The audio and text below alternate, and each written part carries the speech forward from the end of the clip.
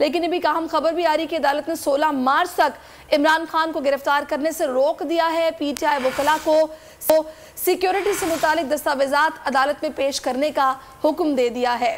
जी हाँ बड़ी खबर यह आ रही है कि अदालत ने 16 मार्च तक इमरान खान को गिरफ़्तार करने से रोक दिया है। पहले ये खबरें आ रही थी कि उनके वारंट गिरफ्तारी जारी किए गए हैं तो शहाना केस में और एक और केस में दो वारंट जारी हो गए थे। लेकिन अब पीटीआई वकला को सिक्योरिटी से मुताबिक दस्तावेजा अदालत में पेश करने का हुक्म भी सामने आया है कि सिक्योरिटी की सूरत क्योंकि वो एक्स प्राइम मिनिस्टर हैं अदालत में पहले भी ये रिमार्क्स आए थे कि क्या उनके पास सिक्योरिटी नहीं है। तो फिर पीटीआई की टीम ने कहा था कि विफाकी हुकूमत ने भी सिक्योरिटी नहीं दी पंजाब हुकूमत ने भी सिक्योरिटी वापस ले ली है और इसीलिए इमरान खान साहब को इस वक्त सिक्योरिटी थ्रेट्स हैं। बिल्कुल इसी पर बात करेंगे नुमाइंदे एहतशाम अली अब्बासी से। एहतशाम क्या डिटेल्स हैं आपके पास? हाँ जी बिल्कुल खातून जज को धमकी देने के केस गुजशत रोज नाकाबले जमानत वारंट गिरफ्तारी, इमरान खान के जारी हुए थे। उस हवाले से आज इमरान खान बुकला की टीम है। उन्होंने वारंट गिरफ्तारी, जो नाकाबले जमानत जारी, उनको चैलेंज किया था। फैजान हैदर गिलानी की कोर्ट में तो वहाँ पर उन्होंने 21 तारीख तक वक्त मांगा था। अदालत ने जो सुनते हुए और इमरान खान के वकला को ये कहते हुए कि पंजाब हुकूमत ने जो सिक्योरिटी वापस दी है, वो लेटर अदालत में पेश करें।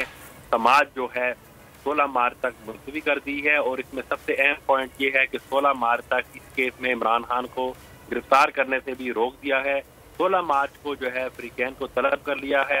इसके साथ साथ इमरान खान की जो बुकला की टीम है, उन्होंने अदालत में ये बताया कि हाई कोर्ट में केस चल रहा है, जहाँ पर हमने सजा की है कि इमरान खान को वीडियो लिंक पर लिया जाए। तो इस हवाले से दोनों चीज़ों को देखते हुए अदालत ने समाज सोलह मार्च तक मुलतवी करते हुए इमरान खान की गिरफ्तारी से रोक दिया है। जी। ठीक है एहतशाम बहुत शुक्रिया।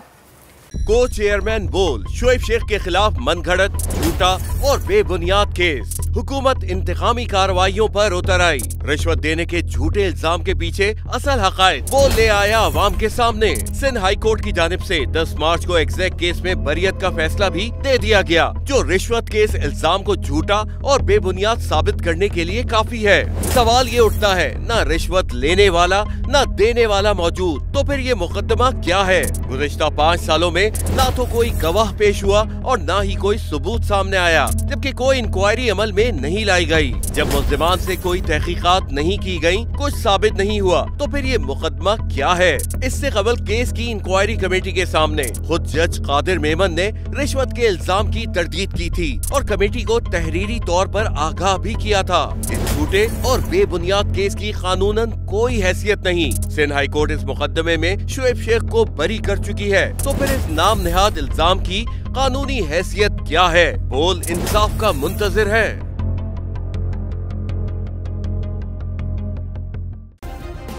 सब्सक्राइब करें और बेल दबाएँ ताकि कोई खबर रह न जाए।